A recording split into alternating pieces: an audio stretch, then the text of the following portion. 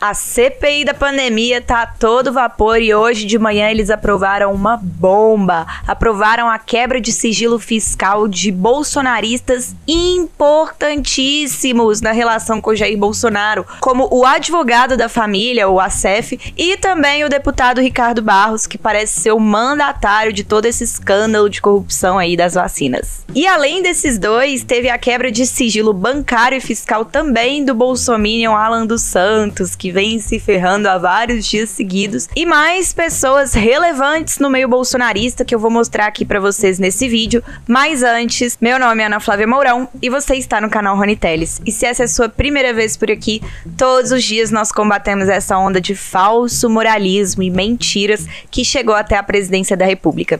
E você contribui demais com essa tarefa apenas sentando o dedo no like, porque o like avisa pro YouTube que esse vídeo é relevante e mais pessoas deveriam ter acesso a ele dele, então não se esqueça de sentar o dedo no like, se inscrever e ativar o sininho se você ainda não for inscrito. E para você que já é de casa, que acompanha e curte nosso trabalho, você pode considerar, se tiver condições, assinar o canal por valores a partir de 3 reais. E agora bora, porque eu tenho certeza que você, assim como eu, tá doido para ver esses bolsonaristas mais poderosos ali se ferrando. E agora parece que vai, hein? CPI da Covid aprova quebra de sigilo fiscal de Ricardo Barros e de Frederic Vaz a comissão deu aval a mais de 180 requerimentos nesta quinta-feira. Senadores também aprovaram a quebra de sigilo bancário fiscal do blogueiro bolsonarista Alan dos Santos. Senadores visam avançar investigações sobre aquisição de vacinas, hospitais federais do Rio e propagação de fake news. A CPI da Covid aprovou nesta quinta-feira a quebra de sigilo fiscal do deputado federal Ricardo Barros,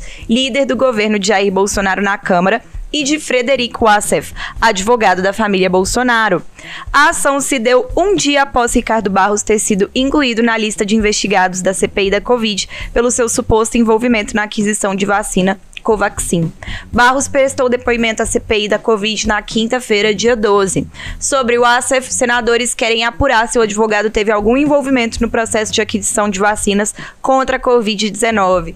Eles estão falando da Covid-19 e vão acabar esbarrando em outras coisas, porque o ASEF, eu não sei se vocês lembram, que teve um dia, inclusive, que ele estava lá no Senado Federal. Durante o depoimento, se eu não me engano, foi durante o depoimento do servidor Luiz Ricardo Miranda e do seu irmão deputado Luiz Miranda e ele tava lá no banheiro feminino, se escondeu no banheiro feminino, ninguém sabe o que, que ele tava fazendo por lá. Então eu acho que isso pode começar nas vacinas e pode acabar chegando em outras coisas, porque a gente sabe muito bem que esse Wassef tá envolvido em treta com a família Bolsonaro, ó e inclusive com ligação com o miliciano, com Queiroz, Adriano da Nóbrega. A gente sabe que né, o Queiroz estava lá hospedado no sítio dele enquanto ele estava foragido.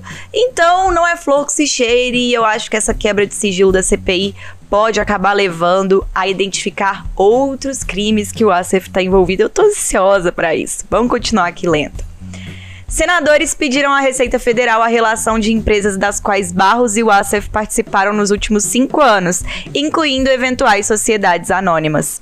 Os parlamentares desejam saber o faturamento, a relação de notas fiscais emitidas, os maiores clientes e fornecedores de, e detalhamento do lucro dessas empresas, além de informações relacionadas a indícios de crimes, fraudes, irregularidades ou comportamentos e movimentações atípicas. Os senadores também aprovam a quebra quebra de sigilo bancário e fiscal do blogueiro Alan dos Santos, apoiador do presidente Jair Bolsonaro, alvo de dois inquéritos em andamento no STF e de uma denúncia oferecida pelo Ministério Público Federal nesta quarta-feira. Ao todo, os senadores aprovaram 187 requerimentos nesta quinta. Os pedidos visam possibilitar aos parlamentares avanços nas investigações sobre aquisição de vacinas por meio de empresas intermediárias, o uso de hospitais federais do Rio de Janeiro para desvio de verbas e o financiamento e a propagação de notícias falsas sobre a pandemia do coronavírus.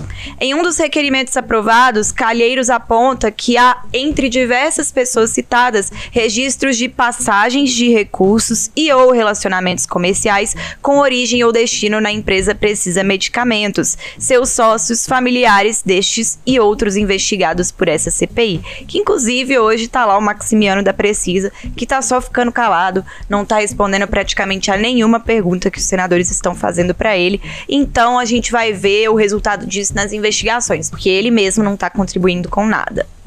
Também foram aprovados os requerimentos de convocação de Roberto Pereira Ramos Júnior, presidente do FIBBank, do advogado Marcone Nunes Ribeiro Albernaz e de José Ricardo Santana, empresário que participou de jantar no qual teria havido cobrança de propina por parte do então diretor do Ministério da Saúde, Roberto Dias. O ex-diretor nega acusações. Vamos ver os requerimentos aprovados. A Receita Federal, a CPI, solicitou dados fiscais sobre Ricardo Barros, Frederico Wassef, Marcelo Bento Pires, coronel da reserva e ex-assessor do Ministério da Saúde, Thaís Moura Amaral, assessor especial da Secretaria de Governo, Danilo César Fiore, Francisco Emerson Maximiano, dono da Precisa Medicamentos, José Carlos da Silva Padueto, Global Gestão em Saúde, aquela empresa que deu calote no Ministério da Saúde na época em que o Ricardo Barros era ministro da Saúde no governo Temer, RC6 Mineração, X Internet e Fibra,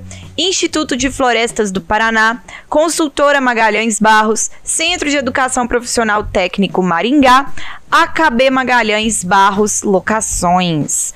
Os senadores aprovaram a quebra de sigilo fiscal, bancário, telefônico e telemático de José Ricardo Santana, ex-secretário executivo da Câmara de Regulação de Mercado e Medicamentos, CEMED, Empresa Brasil Paralelo, eita, Márcio Luiz Almeida dos Santos, Global Gestão em Saúdes, ML8 Serviço de Apoio Administrativo, Maia Anjos Advocacia, Emanuel Cartori, Senar Secretaria Nacional de Assuntos Humanitários, Fibbank, X Internet Fibras, filiais da Precisa Medicamento e Primarcial Holding. Bem, então é isso, pessoal. Como vocês puderam ver, a CPI tá todo vapor. Aprovaram a quebra de sigilo de várias pessoas muito importantes do núcleo bolsonarista. E eu quero ver o circo pegando fogo. Eu tô doida para ver a CPI nas próximas semanas, ficar de olho, ficar ligada nas próximas informações que vão sair depois dessa quebra de sigilo. Eu espero que seja autorizada. Eu espero que o COAF também libere esses documentos sobre os investigados, sobre o ACEF, sobre o Ricardo Ricardo Barros. Eu quero ver essa galera toda sangrando, eu quero ver o bolsonarismo sangrando. Eu quero continuar vendo eles ficando cada vez mais enfraquecidos e a gente se fortalecendo cada vez mais. E eu tenho certeza que os resultados da CPI não vão dar em pizza, porque todas as informações que a gente tem é impossível que isso tudo dê em pizza, né, galera? Me contem aqui embaixo o que vocês acham, se vocês concordam comigo, se vocês acham que pode dar em pizza sim. O que, que vocês acham que vai aparecer aí dessa quebra de sigilo, principalmente do advogado da família Bolsonaro, do Ricardo Barros? Conta tudo aqui pra mim aqui embaixo. Não se esqueça de deixar o seu like, se inscrever e ativar o sininho se você ainda não for inscrito. E beijão. Até a próxima.